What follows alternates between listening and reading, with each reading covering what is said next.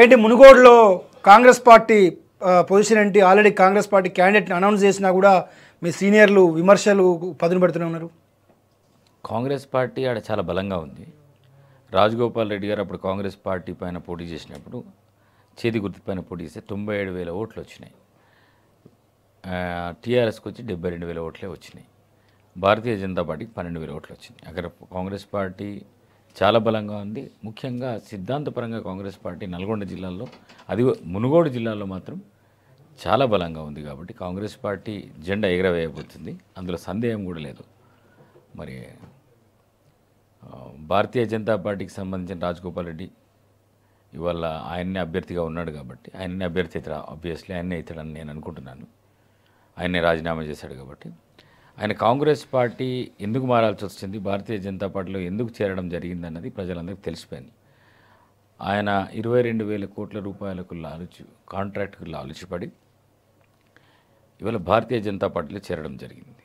ఆయన భవిష్యత్తు కోసం ఆయన కుటుంబ భవిష్యత్తు కోసం ఆయన స్వయంగానే చెప్పాడు ఆయననే చెప్పాడు నా కొడుకు భవిష్యత్తు కోసం అది నా కొడుకు పైనే అది కంపెనీ ఉంది నా పేరు మీద లేదు నా కొడుకు ఆ వ్యవహారాలు చూస్తున్నాడని చెప్పేసి.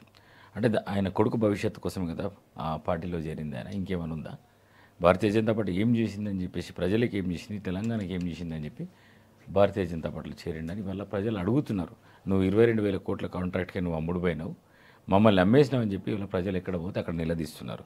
మమ్మల్ని అమ్మేస్తావు ఇక్కడ అభివృద్ధి పనులు ఏం చేయలేవు నువ్వు ఉండి అసలు ఎమ్మెల్యే గెలిచిన తర్వాత నువ్వు వచ్చింది అసలు నియోజకవర్గానికి వచ్చింది ఎప్పుడు అని చెప్పి నిన్నగాక మొన్న కూడా రెండు మూడు గ్రామాలలో ప్రజలు నిలదీస్తున్నారు. ప్రతి గ్రామంలో కూడా నిలదీయడం జరుగుతుంది. ఇంకా అక్కడ కాంగ్రెస్ పార్టీ చాలా బలంగా ఉంది. కాంగ్రెస్ పార్టీ అభ్యర్థి కూడా ఇవాళ పాల్వాయి స్రవంతి గారిని కాంగ్రెస్ పార్టీ డిక్లేర్ చేసింది కాబట్టి స్రవంతి గారు కూడా ఒక పాల్వాయి గోవర్ధన్ రెడ్డి గారి కూతురుగా అండ్ కాంగ్రెస్ లాయలిస్ట్. కాబట్టి ఇవాళ తప్పకుండా కాంగ్రెస్ పార్టీకి అక్కడ సానుభూతి ఉంది. ఒక సరైన అభ్యర్థిని పెట్టాం. సరైన రిజల్ట్ కూడా వస్తాయని చెప్పి మేము పూర్తిగా నమ్ముతున్నాం. అంటే టీఆర్ఎస్ ఏమో మా ఫైట్ కాంగ్రెస్తో అంటుంది బీజేపీ ఏమో మా ఫైట్ టీఆర్ఎస్తో అంటుంది మరి మీకు ఫైట్ ఎవరితోని? ఒకటి ఆడ చాలా క్లారిటీ ఉందండి. కాంగ్రెస్ వర్సెస్ టీఆర్ఎస్ ఉంటుంది ఆ ఎలక్షన్. భారతీయ జనతా పార్టీకి పోయినసారి వచ్చింది పన్నెండు వేల ఓట్లు. మరి ఈసారి రాజగోపాల్ రెడ్డి అనే వ్యక్తి పైన ఇవాళ తీవ్రమైన వ్యతిరేకత ఉంది. ఆయన స్వార్థం కోసం ఆయన వ్యక్తిగత ప్రయోజనాల కోసం పోయిండని చెప్పేసి అక్కడ ప్రజల్లో బలంగా నాటకపోయింది ప్రజలు నమ్ముతున్నారు కూడా. అది వాస్తవం కూడా. ఇరవై రెండు వేల కోట్ల కాంట్రాక్ట్ కోసం ఆయన పోయిండని చెప్పి ప్రజలు ఇవాళ మమ్మల్ని అమ్మేశారు మునుగోడిని అమ్మేశారని చెప్పి ప్రజలు బలంగా నమ్ముతున్నారు కాబట్టి బీజేపీ కాంపిటీషన్లో ఉందని కూడా నేను అనుకోవట్లేదు. అక్కడ డబ్బులు వెదజల్లుతున్నమాట వాస్తవం. అంగట్లో పశువులను ఎట్లా కొంటారో ఆ విధంగా అక్కడ ఉన్న నాయకులని రాజగోపాల్ రెడ్డి డబ్బులు డబ్బు సంచులతో కొంటున్నాడు. అది వాస్తవం కూడా. కానీ ప్రజలు మాత్రం అసహించుకుంటున్నారు. ఇలాంటి వ్యక్తినా మేము ఎమ్మెల్యేగా ఎన్నుకున్నదని చెప్పేసి.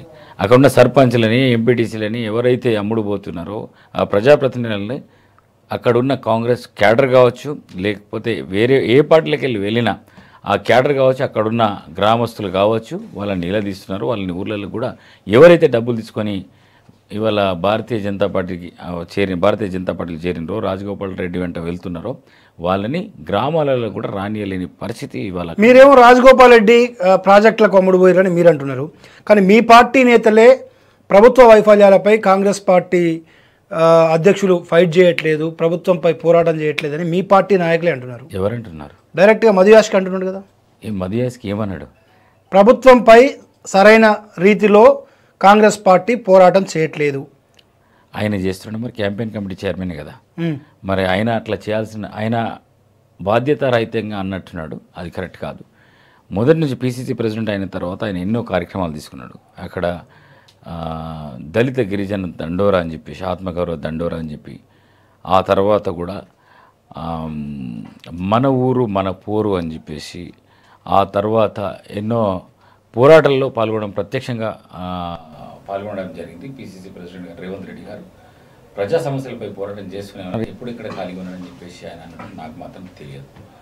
అండ్ అది అనడం మాత్రం బాధ్యత రాహిత్యం అని నేను అంటాను.